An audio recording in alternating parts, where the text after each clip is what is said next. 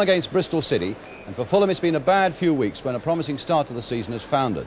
But their team today sees the return of Steve Earle after a touch of flu, with Malcolm Webster continuing in goal for the injured Peter Miller.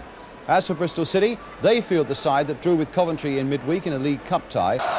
So Fulham then kick off, attacking the goal to our left in the white shirts and black shorts. Bristol City in red with white shorts. Fulham, having lost their last four league games, now find themselves, after a promising start to the season, in 15th place. Bristol City themselves very handily placed, fourth in the table. Trevor Tainton, their number seven, but the ball, in fact, going off uh, Les Barrett and Tainton with the throw for Bristol City. Here's Fear. Went penalised there for the uh, tackle on the number 11, Keith Fear. So a free kick to Bristol City. Lacey, Gow, and Dry Cutbush with it. Earle. Oh, he didn't give enough of that to Cutbush, but Cutbush showed great determination there for Fulham and coming away with it now on a good run that we used to associate with George Cohen, but uh, Ritchie was back very quickly. And a corner to Fulham on the far side. Oh, Conway with the corner, flicked on there by the number eight Earle. back now with Barry Lloyd. And now Busby having his shirt tugged, and it's gone wide in any case, but his shirt was pulled by a Bristol City defender. Fear missing the header, Went was behind him.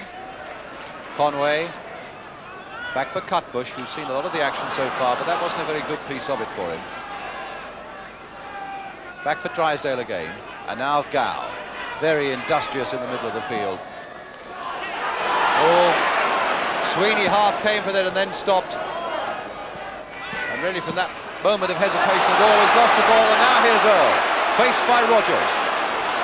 Busby is in the middle and Earle has got Rogers going all ways.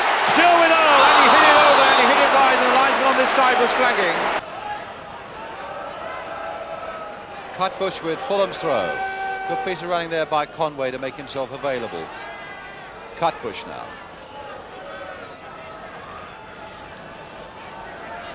Mullery to Slough. Being pushed back by the sheer work rate of these Bristol City players, hustling and harrying all the while. Really is no easy ride for any Fulham player in possession this afternoon, but here's Earle. Cross deep again towards Barry Lloyd, he came in so well.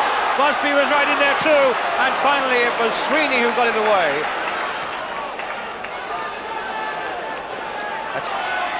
But here's Lloyd. Barrett. Lloyd again to Mullery. Really busying to their job now of Fulham. Rogers header away. Mullery. But now there's Ritchie. Lacey caught a little bit in two minds as Gould goes off. And now Bobby Gould is away. Oh, good play there by Paul as Gould tried to turn it across. Gould fighting on though, and that time it was Lacey who got it away. The shot on the turn, and it almost got there from Keith Fear.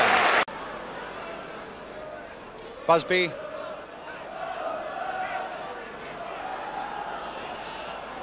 And now it's Went. Lloyd, nice little dummy there for Barrett, and hit well there by Barrett, down by the post, and Bond really had to get down quickly for that one. Now for Bristol City, Gow inside for Fear. Slip past one, slip past another, the cross is stopped by Lacey. Gow again. Cutbush couldn't really make the right sort of contact and it'll be now for Drysdale to cross it once more towards Emmanuel, and that was a good header by Emmanuel. It had for the moment uh, Webster going the wrong way. Lloyd through the legs of uh, Tainton, but it didn't get through to Barrett again. Earle making a good run towards the touchline to try and get away from the Bristol defence. Lloyd now. Earle. Cross there, and Feary Tommy, yes! Oh, it's put there! And it goes to Conway, the man who finally touched it home, and the desolate figure there of Len Bond, because it was his mistake as the cross came over. He got a hold of it and dropped it, And Conway had the simplest of tasks. Goalkeeper's error. Fulham's goal. 1-0. So Conway the man who scored it. And Len Bond the man who really conceded it. The man who was in bed with tonsillitis yesterday. And they're going across to the linesman. And whether they... The referee is the man who counts. Ritchie nodding it back in again. That could be very dangerous. And a good dive there by Malcolm Webster as Gould went in on him. Ducking very neatly to one side. Drysdale, the game really livened up now.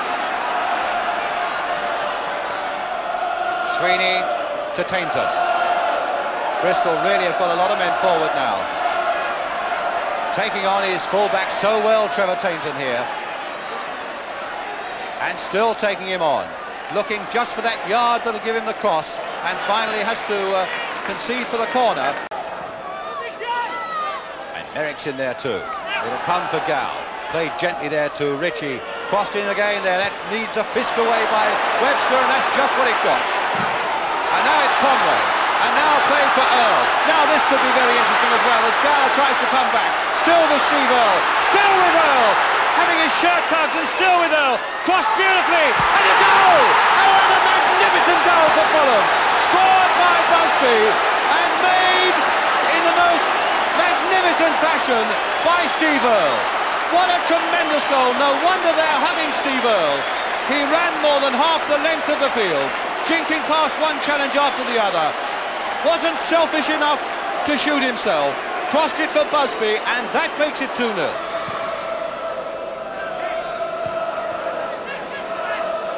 Gillies, Fear.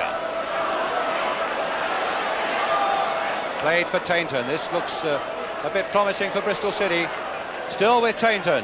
And now with Gillies. Played back there for the number two, Sweeney, who couldn't have been more than a foot wide. In fact, I think he just got on an errand for the physiotherapist, Ron Woolnough.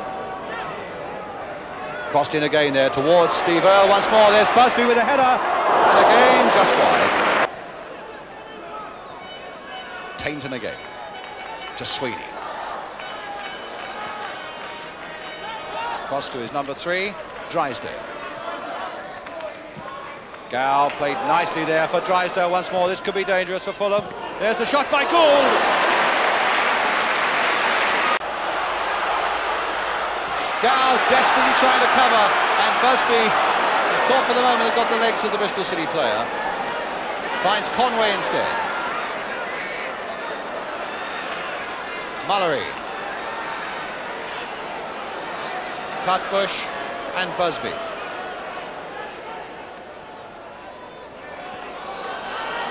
Mullery. The momentum has really slowed now and Bristol have had so much opportunity to get all their men back. But even then, even so, Cutbush has gone way through on the right-hand side. Cutbush again, this time back for Mullery. Crossed in once more to Earle, stabbed nicely back to Conway, and hit beautifully by Conway. So well, in fact, that Bond could only uh, parry it.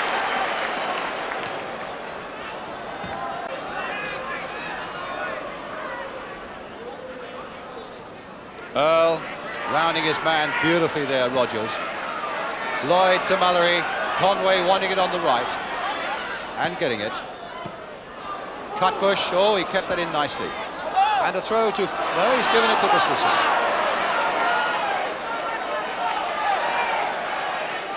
And now here's Ritchie. Ahead of him is Gow. This could be a chance now for Bristol City. Or rather, it's uh, Gillies, the substitute. Now Tainton. Across, and it's there by Trevor Tainton. Over the heads of them all. And Bristol City have got right back into the game. Went's header, good and powerful. A hefty kick, though, by the other number five, Rogers. Uh, this game still very much in the balance. Gow, and here's Fear in a very promising position now. This could be the equaliser, and it's saved by Webster.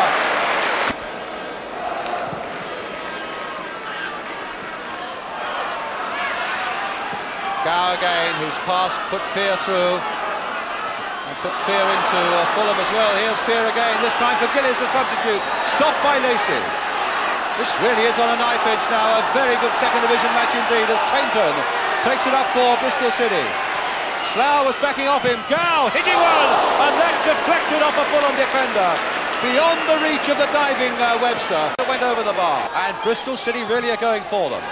In again, nodded away, that time by Paul Waite. It'll come for Fear.